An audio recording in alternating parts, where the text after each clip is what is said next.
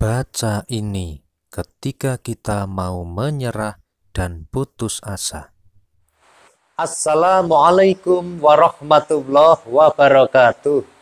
Alhamdulillahi rabbil alamin wa syukrulillah wa ni'matillah wa la khawla wa la quwwata illa billah amma ba'd. La ilaha illa anta subhanaka inni kuntu minad dhalimin. Sahabat channel YouTube Taman Surga yang ada di seluruh dunia bertemu dengan saya Ali Akbar Nafis, pengasuh channel YouTube Taman Surga.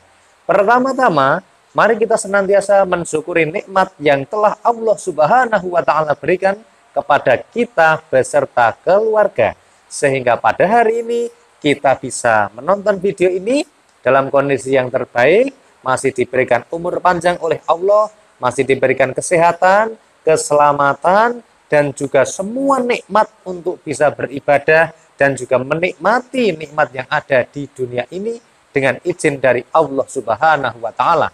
Oleh karena itu, mari kita ikrarkan syukur kita kepada Sang Pencipta minimal dengan mengucapkan syukur bilisan. Bikaulina alhamdulillahi rabbil alamin.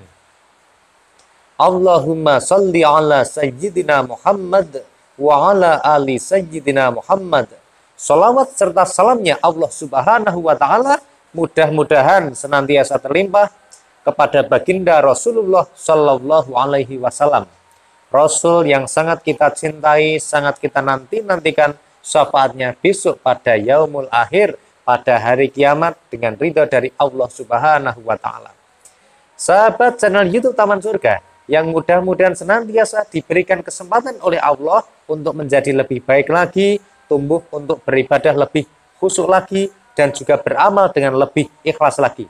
Mudah-mudahan pada kesempatan hari ini kita diberikan ridha oleh Allah untuk bisa membahas sebuah tema yang sangat menarik. Ketika kita mau menyerah dan putus asa, baca ini.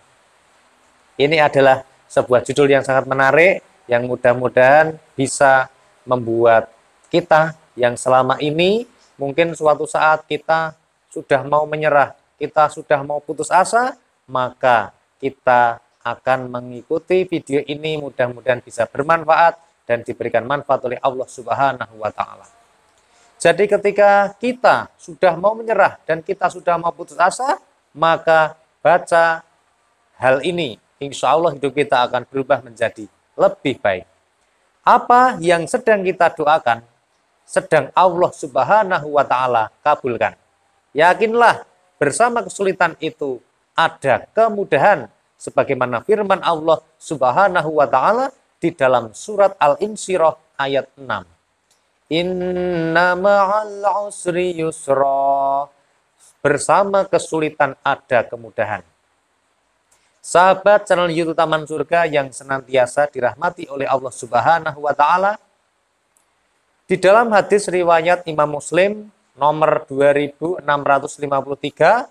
disampaikan bahwa Rasulullah Shallallahu alaihi wasallam bersabda bahwa Allah telah menetapkan takdir untuk setiap makhluk sejak 50 ribu tahun sebelum penciptaan langit dan bumi. Jadi sudah jauh-jauh hari sebelum bumi ini diciptakan, ternyata takdir kita ini sudah ditetapkan oleh Allah Subhanahu wa taala. Oleh karena itu saudara-saudara, saya yakin bahwa setiap orang pasti pernah mengalami musibah, pernah mengalami masa-masa yang sangat sulit, pernah mengalami sesuatu hal yang bisa membuatnya terbanting, jatuh, kemudian berada di dalam kondisi yang sangat hina sehingga mungkin saat ini sudah tidak mau berjuang, sudah tidak bisa lagi melawan keadaan sehingga sudah mau menyerah dan sedang mau putus asa. Saudara-saudara, mungkin kita bisa mengalami hal yang sangat negatif ini ya. Mungkin saya tahu kalau setiap orang itu pasti punya orang tua dan kita pasti akan merasa terpukul sekali. Kita akan merasa bersedih, kita akan putus asa ketika kita ditinggal oleh orang tua kita yang sangat kita cintai. Berikutnya, pasti jiwa kita akan terasa terkoyak-koyak ketika kita ditinggalkan oleh orang yang kita cintai. Bisa itu adalah suami kita, bisa jadi itu adalah istri kita, bisa jadi itu adalah anak kita, atau bisa jadi itu adalah saudara kita. Ketika kita ditinggal oleh orang-orang yang kita cintai, maka sungguh benar-benar kita berada dalam kondisi yang sangat galau, kondisi yang benar-benar sedih, dan berada pada puncak kondisi yang benar-benar berada di bawah. Sahabat channel YouTube Taman Surga, sebelum kita lanjutkan pembahasan ini, bagi sahabat channel YouTube Taman Surga yang ingin mendapatkan notifikasi video setiap kali kami Taman Surga mengupload video baru, silahkan Anda subscribe channel YouTube Taman Surga ini. Kemudian pada sebelah kanan, silahkan Anda bisa tekan lonceng dan pilih lonceng yang paling atas, yaitu lonceng yang berdering. Dengan begitu, mudah-mudahan nanti setiap kali ada video terbaru dari kami, Anda bisa langsung mendapatkan notifikasinya, dan ketika Anda klik notifikasi di YouTube, maka Anda bisa langsung menonton video kami berikutnya. Sahabat channel YouTube Taman Surga, pasti sangat sedih ketika kita ditipu oleh orang. Ketika kita sudah berusaha untuk jujur, kita memberikan yang terbaik untuk orang lain, tetapi ternyata kita ditipu, kita ditikam dari belakang. Rasanya sangat sedih.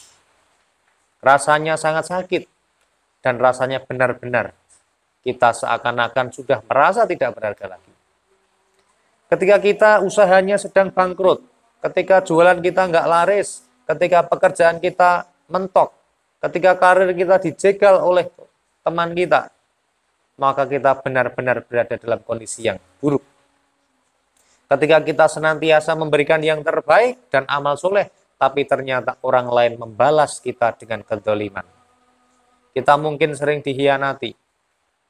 Atau mungkin kita mendapatkan kesulitan ekonomi.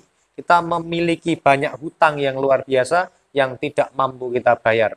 Sehingga kita dikejar-kejar oleh orang yang kita hutangi.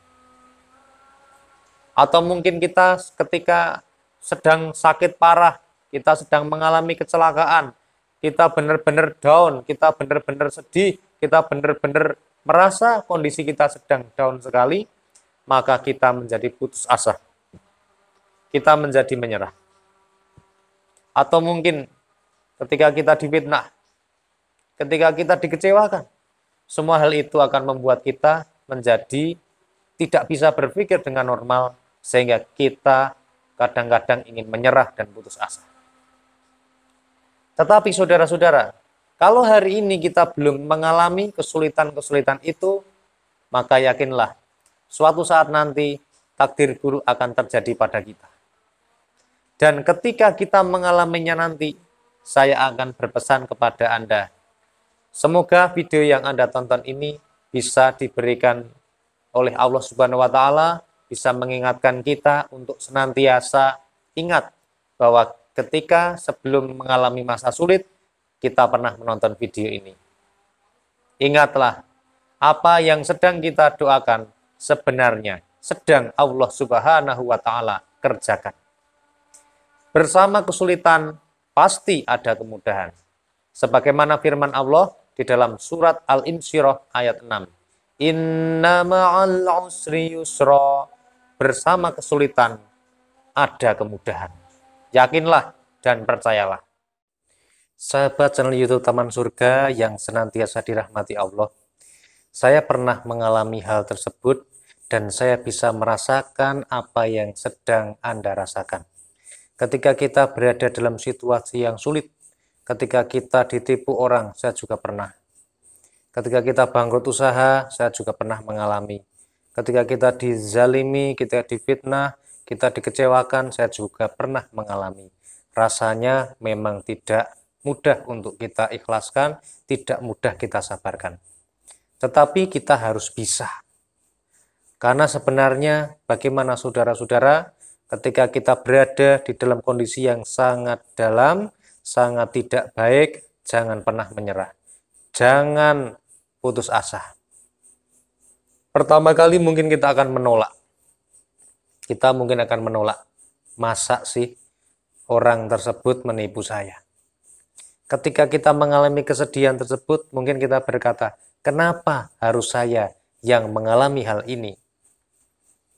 Tetapi saudara-saudara ingatlah bahwa segala sesuatu termasuk masalah yang diberikan Allah hari ini adalah jalan yang diberikan Allah untuk kita bisa meniti kesuksesan kita di masa yang akan datang.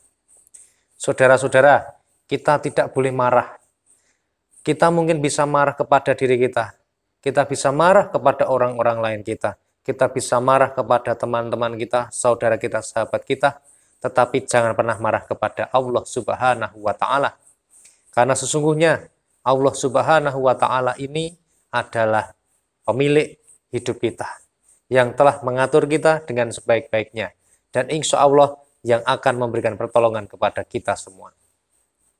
Allah subhanahu wa ta'ala berfirman di dalam Al-Quran pada surat Al-Baqarah ayat 2. Dzalikal kitabul la raiba hudallil muttaqin. Kitab Al-Quran ini tidak ada keraguan padanya. Petunjuk bagi mereka yang bertakwa.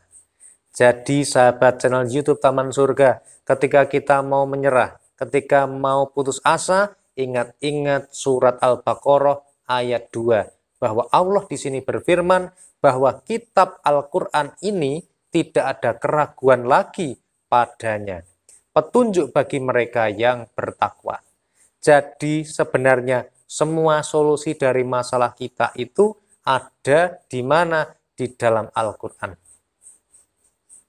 Mulai sekarang coba, cobalah ketika kita hampir menyerah, kita hampir putus asa, stop dulu ambil Al-Quran, ambil air wudhu, ambil Al-Quran, kemudian kita baca. Luangkan satu hari, kita membacanya minimal satu jam. Dan saya sarankan ketika kita mengalami masalah yang sangat berat, maka bacalah dengan sebanyak-banyaknya bacaan yang bisa kita baca. Insya Allah, sesungguhnya dengan membaca Al-Quran, maka semua masalah kita akan dibereskan oleh Allah Subhanahu wa Ta'ala. Saya pernah memiliki seorang sahabat yang ketika itu mengalami hutang lumayan banyak, hutangnya sampai ratusan juta, kemudian dia mengamalkan membaca Al-Quran ini, dia membacanya satu hari itu lebih dari satu jam. Dia bisa membaca itu 2 sampai 3 jam, bahkan dia bisa membaca sampai 4 jam. Satu hari, 4 jam, 2 jam, 3 jam itu membaca Al-Quran. Dan Alhamdulillah benar, semua masalahnya diselesaikan oleh Allah Subhanahu wa taala dengan caranya Allah yang tidak bisa dilogika dan tidak bisa dinalar oleh manusia. Oleh karena itu, mari sahabat channel YouTube Taman Surga yang sedang berada di dalam titik yang terbawah, yang hidupnya serba sedang berada masalahnya sangat besar, jangan putus asa dan jangan pernah menyerah sebelum Anda membaca Al-Quran. Karena insya Allah dengan kita membacanya, maka Allah akan memberikan pertolongan kepada kita semua. Yakinlah. Ingat video ini dan ingat pesan saya, kemudian lakukan, perbanyak membaca Al-Quran, insya Allah Allah subhanahu wa ta'ala akan memberikan jalan dari setiap kesulitan yang menimpa kita. Mudah-mudahan video ini bisa bermanfaat. Silahkan bantu like, bantu komen, dan share link video ini kepada seluruh kerabat dan juga sanak saudara yang barangkali sedang membutuhkan informasi ini dan mudah-mudahan ini bisa menjadi amal jariah bagi Anda yang men-share. Terima kasih sudah menonton video ini. Alhamdulillahirrahmanirrahim. Wassalamualaikum warahmatullahi wabarakatuh.